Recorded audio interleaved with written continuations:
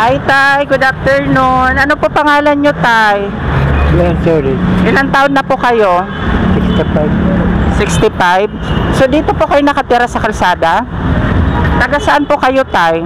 Ha? Taga saan? Dati, dati sa ano, tramo.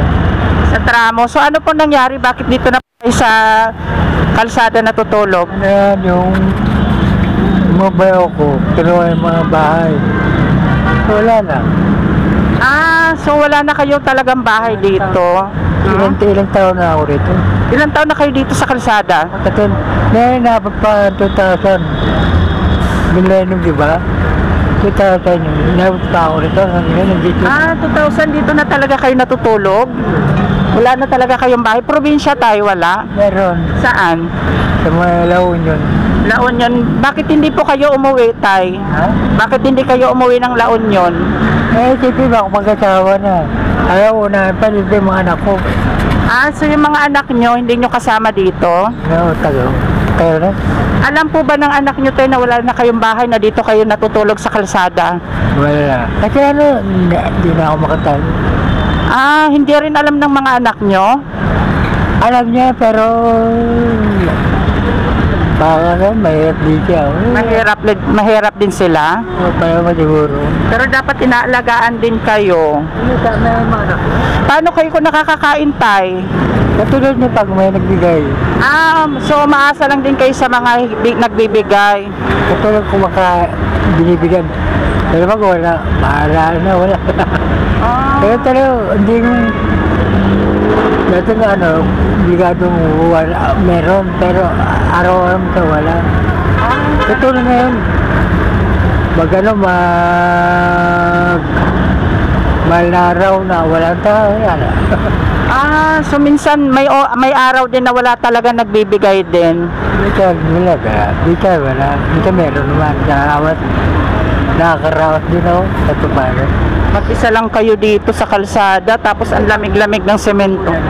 Pag umurabasa pa siya ako, Ah, nababasa kayo pag umuulan. So wala kayo napupuntahan pag umuulan.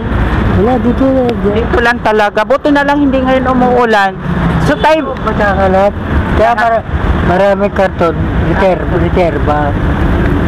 wala kayong gustong sabihin tayo sa anak nyo. Baka mapanood niya tong video. Baka para matulungan kayo.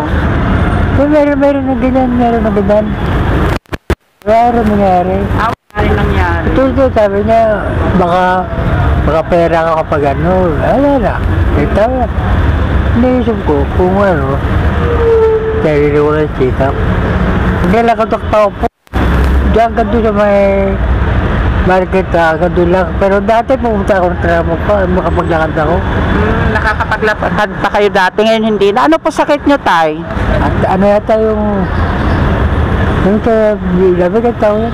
Diabetes? Hindi, diabetes ka pa. Arthritis? At tumbet. Ay, yung paa. So it is... Paswerte, pasma eh. Ah, ano Tawag pa?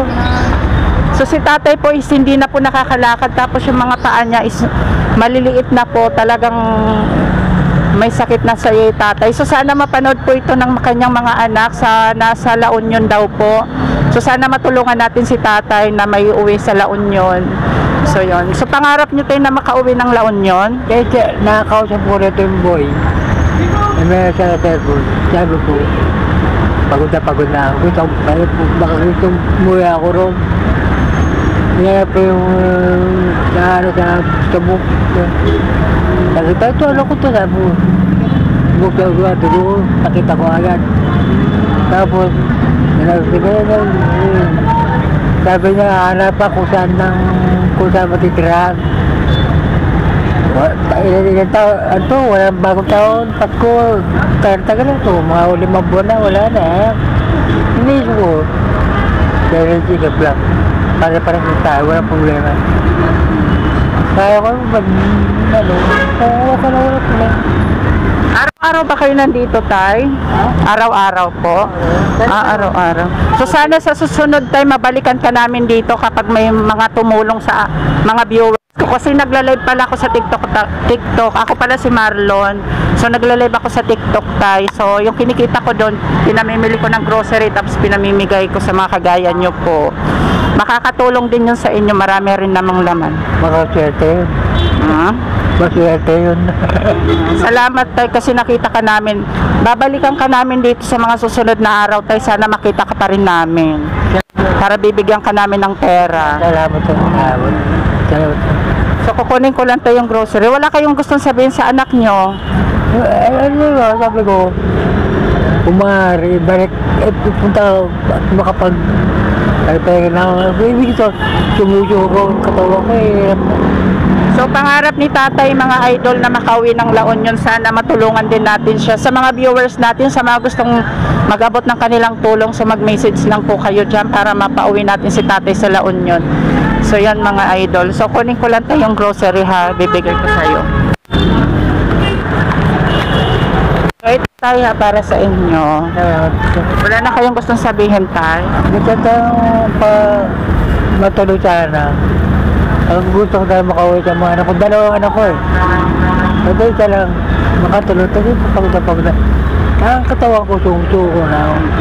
Kasi nanghihina na rin kayo, dapat talaga makauwi na kayo ng La Union. So sa kapag may magbigay po, babalikan ka namin dito tay para makauwi kayo ng La Union. So sana may mga tumulong sa atin. Sana matupad. Biro lang. Malay nyo po may magbigay na mabuting puso sa maka, sa mga makapanood nitong video. Wala problema. So salamat tay ha, babalikan ka na lang namin ulit dito sa mga susunod na araw. Maraming salamat po. Ingat po kayo lagi dito tay. Ako maraming maraming. Salamat po. Salamat. Salamat. Mm-mm.